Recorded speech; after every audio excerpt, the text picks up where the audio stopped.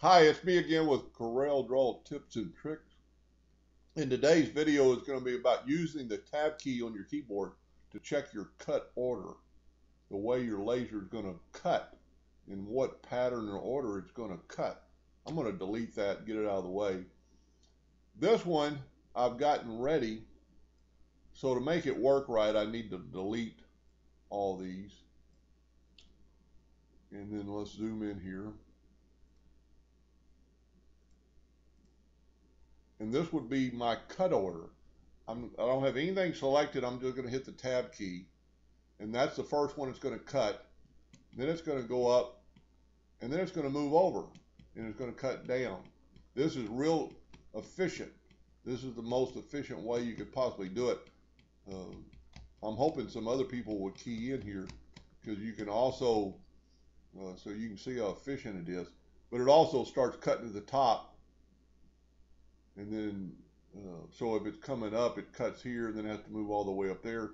If there was a way you could have it start and stop there and start and stop at the bottom, it'd be, well, it'd still have to jump around.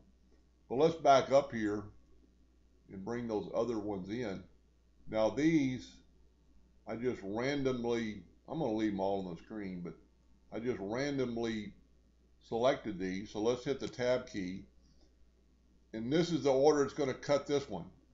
Look how inefficient it is. It, it goes up to the top and then all the way, almost all the way to the bottom.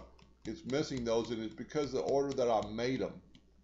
Uh, I just randomly duplicated it on there and you can see this is very inefficient. Now in the next set, it's a little more efficient, but it's going back to the start every time. Maybe that's too fast to see on the video. So your, your laser's having to go from here all the way over here. Now, we're not talking a lot of time. Each one of these have 64 three-inch circles, and you can see that right here at your bottom, 64 objects. But there is a difference of about, and I ran, I went out and ran this without cutting, just I let the lid open, and I ran it at one power and 100 speed, and there was only 12 seconds difference you know, it was like 136 to run this one and 148 to run this one. So we're not talking a lot of time. But if the circles were smaller and you had a whole page of them and it's jumping across the page back and forth, it would be more time. Now, there's really no perfect way to do this. So let's just delete all these real quick and let's bring this one in. And we're going to use, you can use the duplicate tool but I'm going to show you go up to arrange transformation position and we're going to we're going to make seven copies like that. Now we're going to group them all. We're going to go zero and negative three and make seven copies. Well I didn't do a very good job. Oh I did three and three.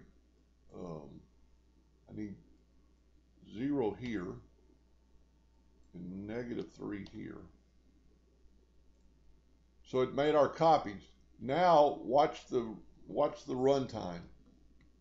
It's moving up, but it's still going to go down. So there's really no way, because this is kind of how you created them. So there's a couple ways you could fix it if you're going to run a lot. It wouldn't be worth messing with, but if you would select this group and mirror them vertically. Select this group and mirror them vertically. Then when you run your tab, just hitting the tab key, it's going to move over. So you've, you've just mirrored it so it'll work better and you can do that all the way across the page. Now, whether it would be worth, now that I didn't do the next one, so it jumps down.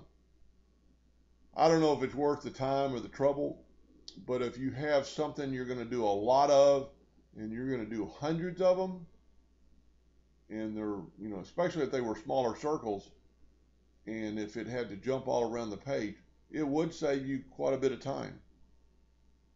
Anyway and if you know more than that there are some plugins that you can get that would you could fix what order ever tell Corel what order to cut them in.